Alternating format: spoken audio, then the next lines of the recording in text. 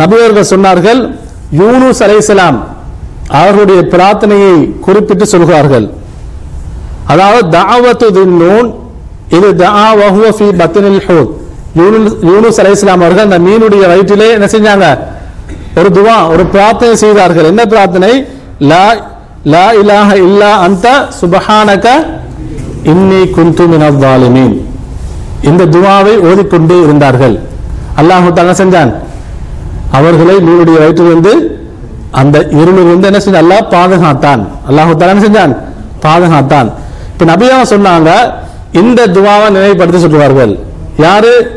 அல்லாவிடத்திலே பிரார்த்தனை செய்வதற்கு முன்னால் யூனுஸ் அலைஹிஸ்ஸலாம் அவர்கள் ஓதி அந்த விக்கிரை அந்த துவாவை ஓதி அதற்கு பின்னால் பிரார்த்தனை செய்தால் என்ன? லாயிலாக இல்லா அந்த சுபஹானக இன்னி குந்து மினல் இதை ஓதிட்டு فإنه لم يدعو بها رجل مسلم في شيء قط நபியர்கள் சொன்னார்கள் இந்த விக்ரை ஓதிவிட்டு ஒரு மனிதர் அல்லாஹ்விடத்திலே பிரார்த்தனை செய்தால் இல்லஸ்தஜாப் அல்லாஹு லஹு அல்லாஹு தாலா அவருடைய பிரார்த்தனையை ஏற்றுக்கொள்வான் அப்ப நம்ம நம்முடைய துவா அல்லாஹ்வினால் ஏற்றுக்கொள்ளப்பட வேண்டும் என்று சொன்னால் அங்கீகரிக்கப்பட வேண்டும் என்று சொன்னால் நாம் பிரார்த்தனை செய்வதற்கு முன்னால் அது உண்மை மறுமுடைய எந்த பிரார்த்தனையாக இருக்கலாம் நாம் அல்லாஹ்விடத்திலே கேட்பதற்கு முன்னால் இந்த விக்கரை ஓத வேண்டும்.